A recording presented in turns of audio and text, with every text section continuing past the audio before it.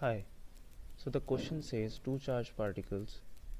having charge q1 and q2 is equals to 2 into 10 to the power